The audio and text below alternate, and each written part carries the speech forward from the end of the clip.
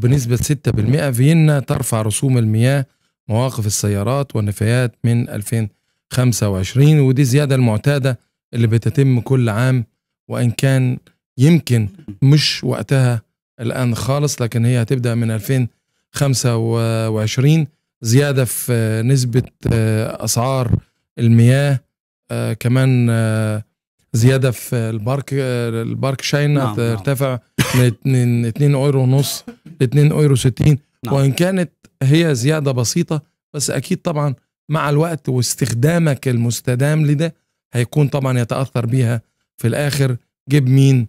المواطن العادي. نعم صحيح هذا الكلام. يعني مع الأسف الشديد هذا ال ال ال الوضع يعني مستمر بهذا الشكل.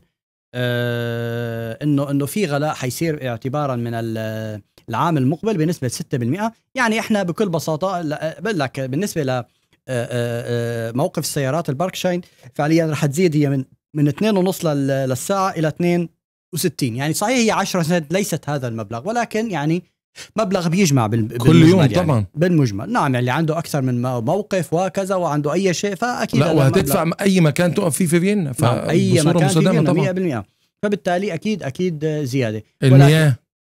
المياه والخدمات والبتريب كوستن اجمالا يعني هاي الخدمات إحنا دائما في عنا إيجار البيت كل اللي عم شوفنا في شيء اسمه إيجار البيت في شيء اسمه بجنبه بتريب كوستن. اللي هو العوائد. المصاريف الجانبية المصاريف الجانبية. المصاريف الاداريه الصرف الصحي والنظافة. وثمن المياه وكهرباء البناء وهذا الكلام يعني هاي يعني مثلا ولك أن تتخيل إن ثمن المياه نعم. الصرف الصحي نعم ثلاث نعم. أضعافها. اللي اللي على سبيل المثال اللي على سبيل المثال بيدفع بيدفع 500 يورو 500 يورو يعني تقريبا راح يصير يدفع 520 إلى 500 يعني 30 تقريبا إلى 550 بصراحة. ده اللي بيدفع 1000 عنده تقريبا ما بين ال 50 إلى ال 100 يورو إضافية من العام المقبل, المقبل. طبعا هذه تتفاوت بحساباتها من شركة إلى أخرى وكيف تكاليف شكلها فيعني هي مع الأسف زيادة حتمية آه، ستأتي من العام المقبل